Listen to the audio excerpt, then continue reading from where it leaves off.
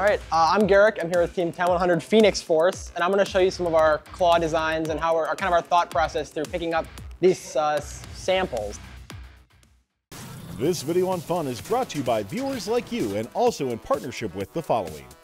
The new Robit system by AndyMark can reduce complexity and enable robust builds. Parts aligned to a common 1 2 inch grid, simplifying construction and allowing alignment of both structure and motion components. Robits enables teams to always have the parts they need to complete a build. Head on over to andymark.com slash robits to learn more and order today.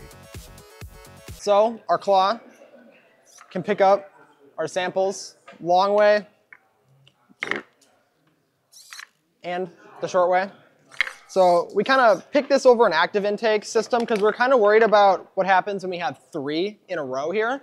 So an active intake with some wheels maybe per se um, would struggle picking up just one here. But with our claw, we have our nice little spiky bits on the end here. Mess it up a little bit, and then we can uh, get in there and grab them. Um, we have another claw design here.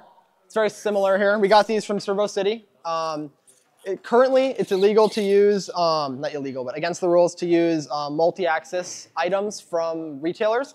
So we 3D printed the ends of this claw here to kind of get around that rule. It's ours now. Um, for this claw here, we have our two little grabbers as well. Um, but this claw, it works, uh, works fairly well. Um, can kind of pick up the blocks. Um, but an area it struggles is it can't pick them up the long way here. It doesn't fit. So if our block's in a different orientation, it can be really challenging for us to grab it. Um, it's also going to be a little slower, um, a little less power. Just overall, we decided against using it. Um, so I'm just kind of walk you through like our first ideas for our robot here. Um, our robot, here, here, Mr. Chassis, some may say.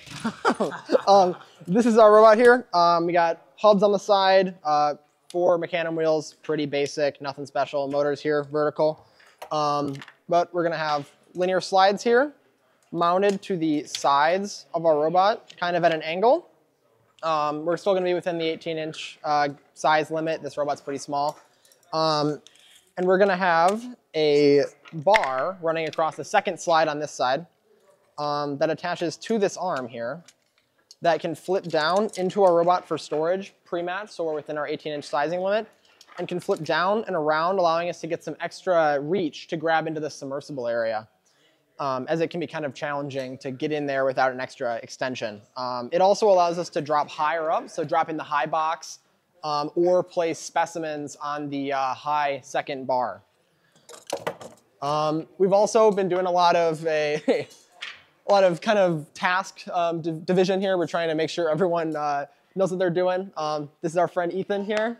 He's currently working on programming. He's coding tools. Um, but we basically laid out our um, scoring. So this is the different points values you get in auto and teleop from doing different tasks. And we eventually decided that using doing specimens is not worth it. Um, that's why we're kind of ignoring that side of it because it's only two more points to bring the block all the way to your human player, have them clip on the hook, and then also bring it back and place it in an area that's harder to reach. Um, so we decided we're just going to go quick, try to get as many cycles as we can uh, down at once. So we're just going to be going for the high basket with uh, regular samples. Um, that's about it. Um, if you want to check out more videos from other teams, other things with Robot in 30 Hours, you can check them out on Fun's YouTube page. This video on fun is brought to you by viewers like you and also in partnership with the following. The new Robit system by AndyMark can reduce complexity and enable robust builds. Parts aligned to a common 1 2 inch grid, simplifying construction and allowing alignment of both structure and motion components. Robits enables teams to always have the parts they need to complete a build. Head on over to andymark.com slash robits to learn more and order today.